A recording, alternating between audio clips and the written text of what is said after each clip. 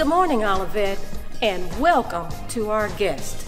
Let's take a look at our weekly announcements. Olivet members, family, and friends, the prayers of the righteous availeth much. So let us continue to pray for our sick and shut in. The Olivet WMU would like to thank the Olivet members and friends who gave donations and supported the blanket and throw drive to be given to the nursing homes. We would also like to thank the church at large for your donations toward Thanksgiving baskets. Thank you, Sister Jennifer Mosby, WMU President.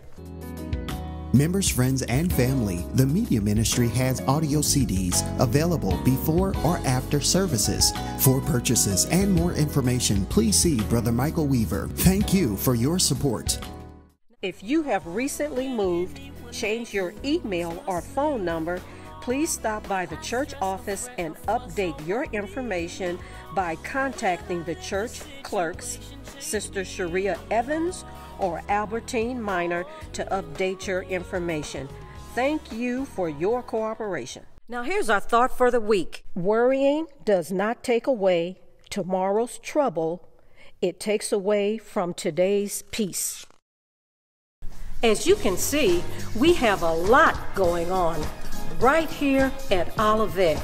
So do your part, get involved, and till next time, be blessed.